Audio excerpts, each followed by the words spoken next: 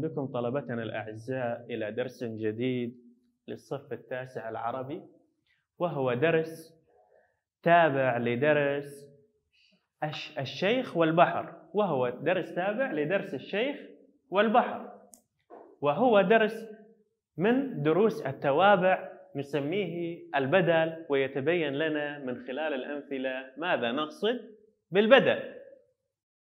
كتاب الأغاني لصاحبه أبي الفرج الأصفهاني.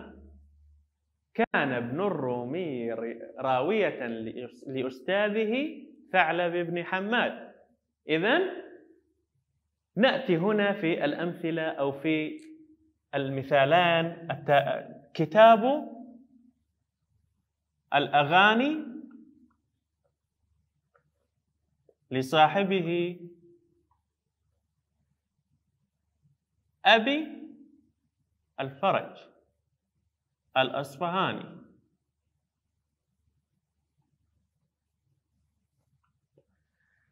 كتاب الأغاني لصاحبه أبي الفرج الأصفهاني. فأبي الفرج هو نفسه صاحبه. إذا نلاحظ أن أبي الفرج هو مطابق لصاحبه. فإذا لصاحبه أبي الفرج. هنا المبدل منه المبدل منه. وهنا أبي الفرج أبي البدل. لأن البدل هنا هو نفسه المبدل منه. ويطابقه في المعنى. كان ابن الرومي راوية لأستاذه ثعلب ابن حماد. فأستاذه ثعلب. إذا أستاذ ابن الرومي هو ثعلب وثعلب هو أستاذ ابن الرومي. فهنا أيضا بدل وهذا البدل مطابق. إذا نقول أستاذه أو لأستاذه. ابني أو لأستاذه ثعلب إذا هنا ثعلب بدل وأستاذه مبدل منه. ما اسم صاحب ما اسم الصاحب الذي قصده الكاتب في المثال الأول؟ كان يقصد أبا الفرج.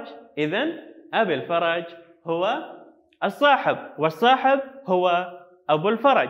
إذا هنا أبي الفرج أبي بدل. نستنتج أن أبي هنا بدل. بدل ممن؟ بدل من صاحبه لأن صاحبه هو أبو الفرج وأبو الفرج هو الصاحب. إذا نسمي صاحبه مبدل منه.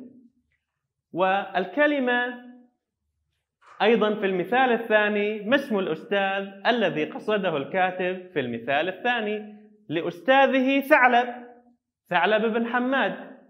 إذا الأستاذ هو ثعلب بن حماد وثعلب بن حماد هو الأستاذ. فهنا إذا أيضا بدل ثعلب هو بدل والأستاذ هنا لأستاذه مبدل منه. نستنتج البدل تابع مقصود. بالحكم يمهد له باسم يذكر قبله ويسمى المبدل منه المتبوع ولا يمكن الاستغناء عنه. إذا لا يمكننا الاستغناء عن البدل في هذه الأمثلة ولكن يمكن يمكن يمكننا الاستغناء عن المبدل منه لأن البدل هنا هو نفسه المبدل منه. نستطيع أن نأتي إلى المثال في أول الصفحة المتبوع صاحبه وأبي الفراج هو التابع البدل وصاحبه هو المبدل منه. إذا نستطيع حذف صاحبه والاكتفاء بأبي الفرج نقول كتاب الأغاني لأبي الفرج الأصفهاني. آه نأتي إلى هذه الأمثلة الآتية. واضع النحو الإمام علي. قرأت سيرة البطل خالد. إذا الإمام علي. علي هو الإمام والإمام هو علي. ماذا نستنتج؟ أن علي هو بدل من الإمام. قرأت سيرة البطل خالد. إذا خالد هو نفسه البطل والبطل هو نفسه خالد فخالد هنا بدل نأتي إلى الأمثلة في القائمة به. قرأت كتاب العين مقدمته. كتاب العين مقدمته. نأتي إلى نوع جديد من البدل أو نتوسع في درس البدل. أعجبت باللغة العربية أساليبها. أعجبت باللغة العربية أساليبها دل على البدل والمبدل منه في الأمثلة السابقة. قرأت كتاب العين مقدمته. هنا المقدمة هي جزء من كتاب العين. أنا قرأت مقدمة كتاب العين ولم أقرأ كتاب العين كله. إذا هنا مقدمته بدل من كتاب العين. قرأت كتاب العين مقدمته. أعجبت باللغة العربية أساليبها أيضا أساليبها هي جزء من اللغة العربية ولكن هل هذا الجزء حقيقي من اللغة العربية؟ ليس جزءا حقيقيا إنما هو جزء معنوي.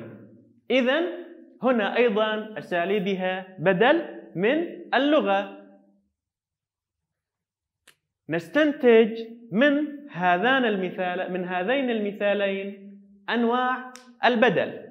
رأينا في المثال أو المثالين التاليين كتاب الأغاني لصاحبه أبي الفرج الأصفهاني لصاحبه أبي الفرج. أبي الفرج هو صاحبه وصاحبه هو أبو الفرج. فهذا نسميه بدل مطابق كل من كل وفيه يطابق المبدل منه البدل المبدل منه في المعنى والمدلول. إذا أبو الفرج هو نفسه صاحبه فهنا تطابق البدل مع المبدل منه. ونأتي إلى بدل بعض من كل ويكون البدل فيه جزءا حقيقيا من المبدل منه. نأخذ مثالا عنه. نقول أصبت العصفورة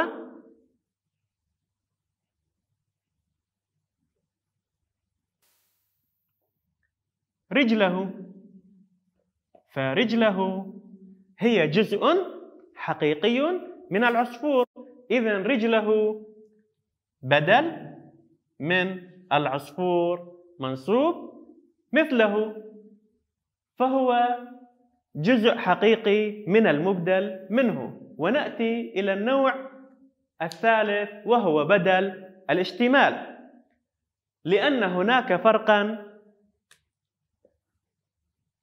واضحا بينهما أو تداخلا بينهما. نقول أعجبني أحمد خلقه. هل خلق أحمد هو جزء من أحمد؟ نعم هو جزء ولكن هل هذا الجزء هو حقيقي أم هو جزء معنوي؟ إذا هو جزء معنوي من أحمد فأحمد يشتمل على هذا المعنى أن خلقه يعجبني إذا نسمي هذا النوع من البدل هو بدل الاشتمال لأنه يشتمل على معنى البدل في المبدل منه. نأتي إلى هذين المثالين. فهمت الرسالة مضمونها. وقرأت شيماء الوحدة نصفها. وحرر القائد صلاح الدين القدس من الصليبيين. إذا ما الضمير المتصل بلفظ البدل في كلا المثالين ألف وب؟ فهمت الرسالة مضمونها. إذا مضمونها هي بدل من الرسالة منصوب مثلها واتصل بها ضمير يعود على المبدل منه. إذا يجب أن يعود البدل يجب أن يكون في البدل في بدل الاشتمال وبدل بعض من كل ضميرا يعود على المبدل منه. فهمت الرسالة مضمونها. إذا هذا هو بدل الاشتمال لأن مضمون الرسالة هو جزء معنوي من الرسالة. يشتمل تشتمل الرسالة على هذا المعنى. وقرأت شيماء الوحدة نصفها. هنا نصفها بدل بعض من كل لأن نصفها هو جزء حقيقي منها. إذا هو بدل من الوحدة فنصفها هنا بدل. آه، بدل بعض من كل. وعاد الضمير على الوحدة. إذا عاد الضمير على الوحدة. ما الضمير؟ هنا الهاء. عاد على الوحدة وهو يطابقها في التأنيث. بين مطابقة الضمير. طبعا الضمير طابق الوحدة وهو مؤنث وحرر القائد. صلاح الدين القدس من الصليبيين. إذا القائد صلاح الدين. القائد صلاح الدين. هنا بدل كل من كل. وطبعا نلاحظ التطابق أيضا في علامة الإعراب لأن البدل هو من التوابع. نستنتج إذا كان البدل بعض بعضا من كل أو بدل اشتمال وجب أن يتصل به ضمير يعود على المبدل منه ويطابقه في التذكير. والتأنيث والإفراد والتثنية والجمع ويتبع البدل التابع المبدل منه أي المتبوع في علامات الإعراب. وهذا هو درسنا لليوم وإلى اللقاء في درس جديد.